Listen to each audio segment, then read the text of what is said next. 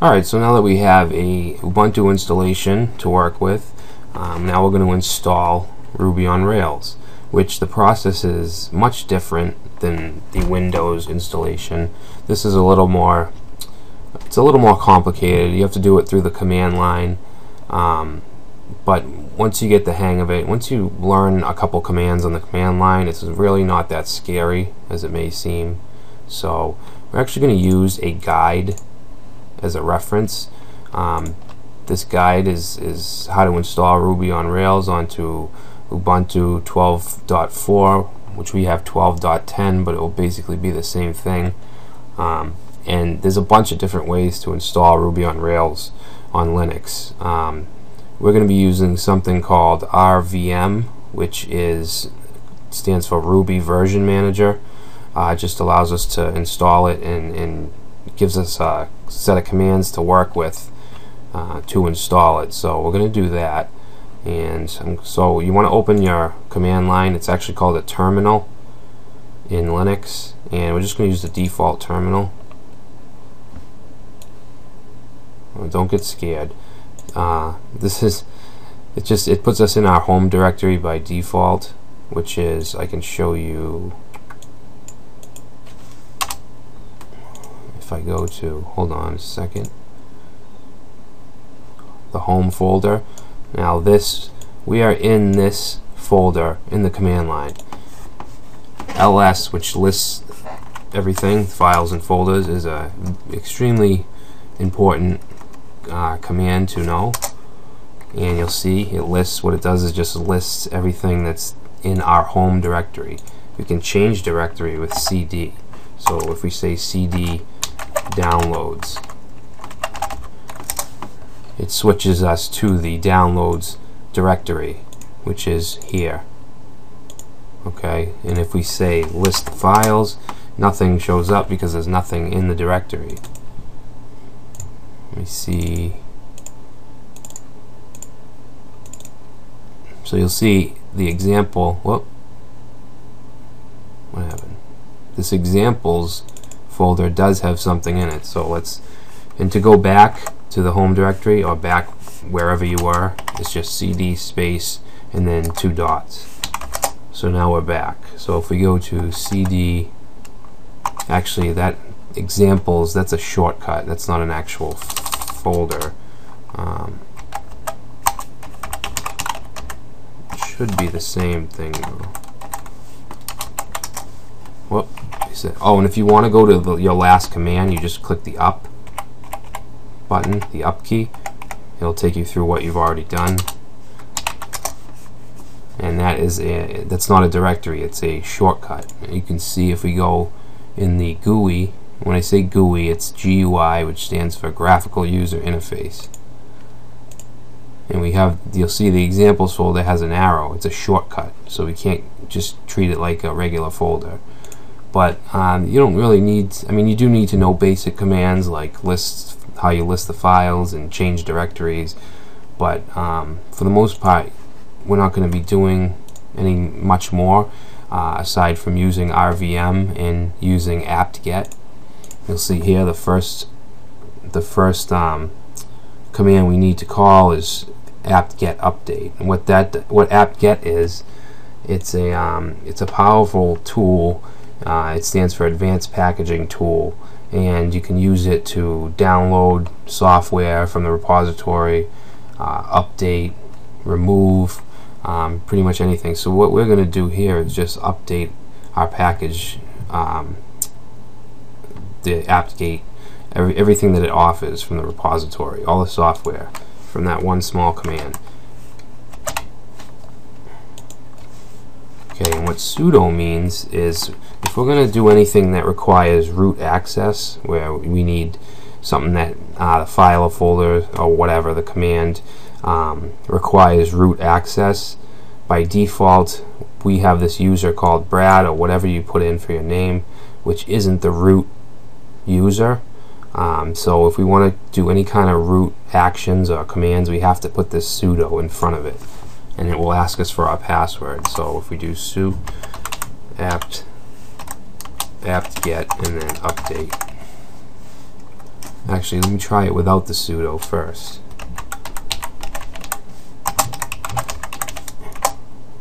So you'll see it says could not open locked file. Permissions denied. But if we go back and we put sudo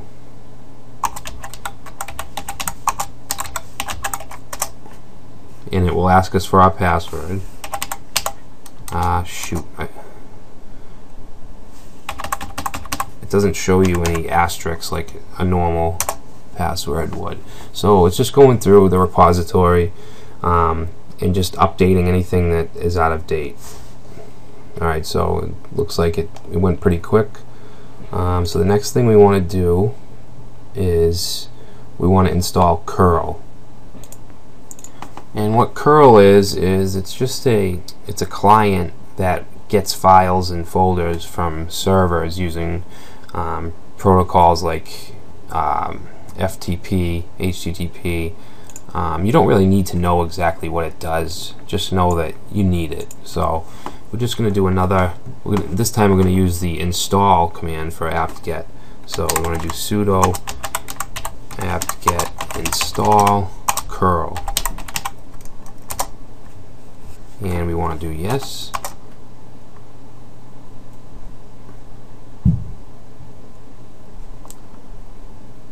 so now we have curl installed the next thing we want to do is we want to get we want to download the RVM package so we're just gonna we're gonna use curl here and I'm gonna use the L option Actually, I can just copy and paste this. I don't know why I'm typing.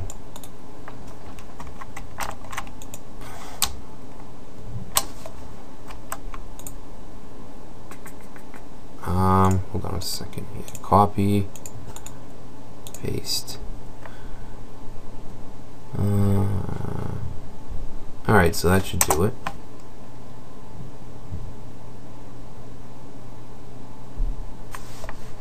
Okay, so now RVM is installed. We have to exit our shell or terminal or command line, whatever you want to call it, and then go back in. Alright. So now let's RVM has its own dependencies that we need to install. So let's try, let's check it out by doing requirements uh, requirements. So if we click up, push up, it'll take us to our last command. Alright, just just tells us about what else we need to in order to run RVM, which is all right here for Ruby. Um, so what I'm going to do is just copy all these. Well, this is what it shows us in the text. So this is right here. Um, so what we want to do is install all these dependencies. So I'm just going to copy and paste this. I don't want to type all that. Alright so what this is doing is it's doing another apt-get install and all these are separate um, dependencies or it's just separate software that we need in order to run RVM in Ruby so that'll ask you again. Oh, I keep using the wrong password here. So you just want to click yes for any questions it asks.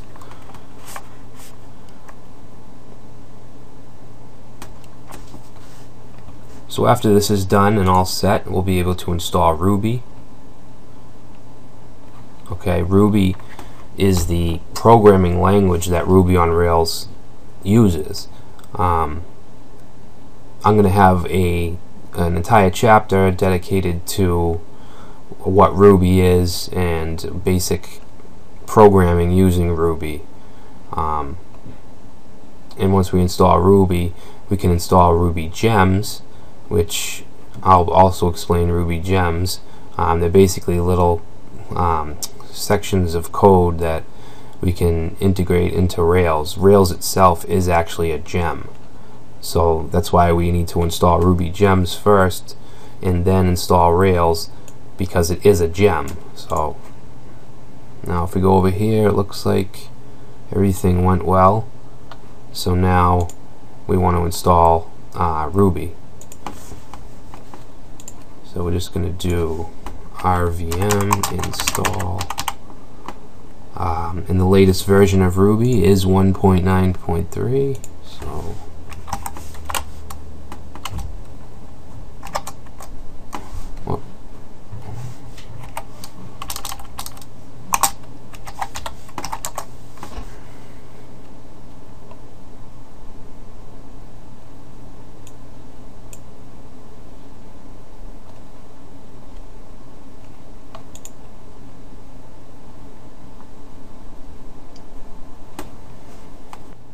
So that's all set. Next we want to install Ruby Gems, which we just want to do RVM.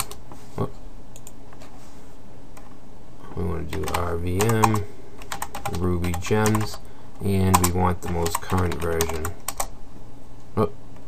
We need sudo. sudo rvm ruby gems. Um, what's going on here?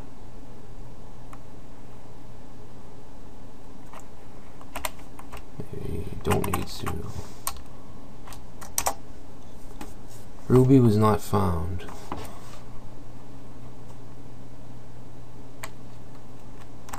We just installed Ruby, didn't we?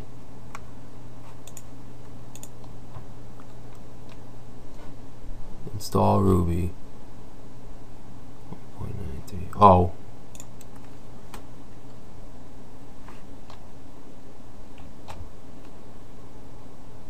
install 1.93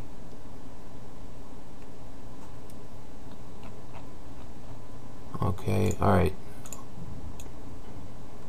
let's use it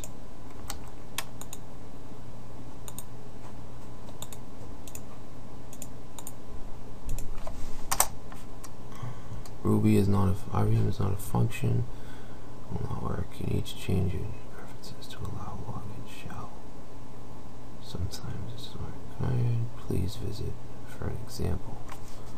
What?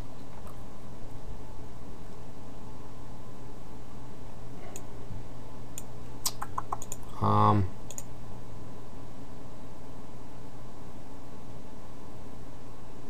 One second, guys.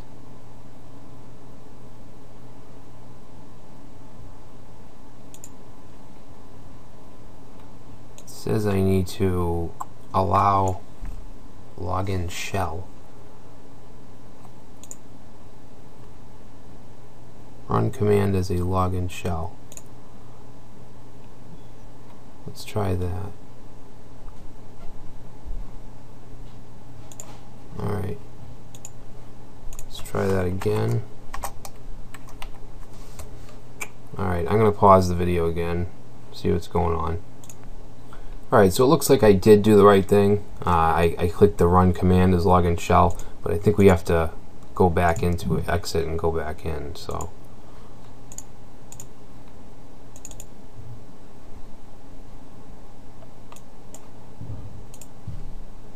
So let's try that again.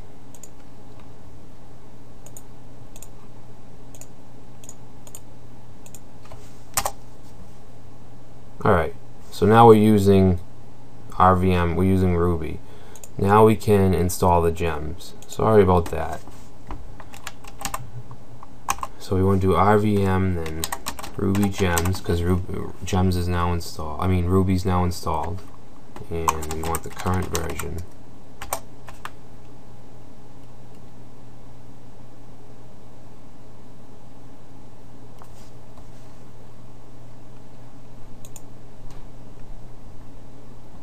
Next we just uh, what's going on? Alright.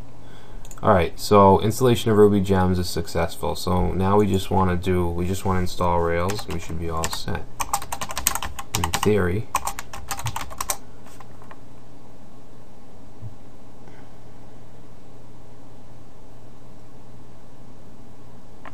And this could take a while uh, so I'm just going to pause it Alright, so everything went good. Everything was installed.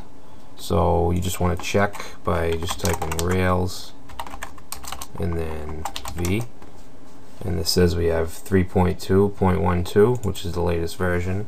And then you can also type Ruby to make sure you have Ruby, which is 1.9.3. So uh, Ruby, Rails, and all its components are now installed.